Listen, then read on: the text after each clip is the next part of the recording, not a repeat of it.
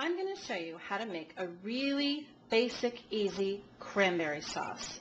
I tweak mine a little bit, but this is how you get started. In a medium saucepan, you pour a 12-ounce bag of cranberries.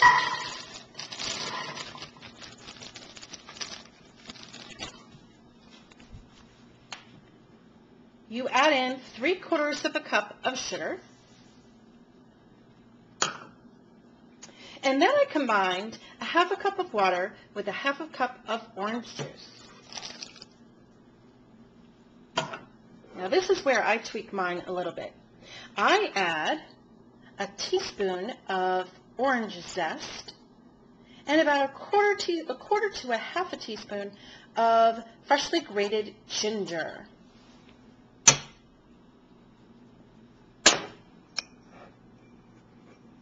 Sure you get all of that in there.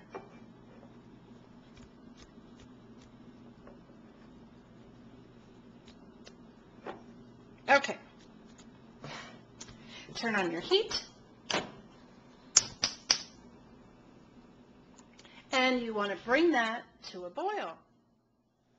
Okay, now as your cranberry sauce, as your cranberry sauce comes to a boil, you're probably going to notice funny sounds.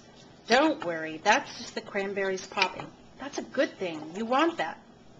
So once your cranberry sauce starts to boil, you want to turn it down to simmer and cook for 10 minutes. So about 10 minutes has gone by now with our cranberry sauce.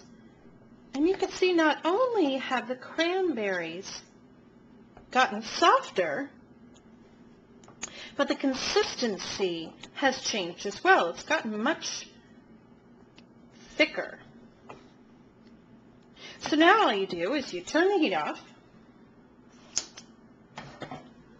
and you pour it into a bowl and let it come to room temperature before serving. It's very easy to store this sauce. You just put it in an airtight container and stick it in the fridge, and it'll last about a week.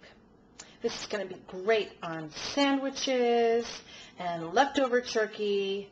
Yummy. Happy holidays, everyone.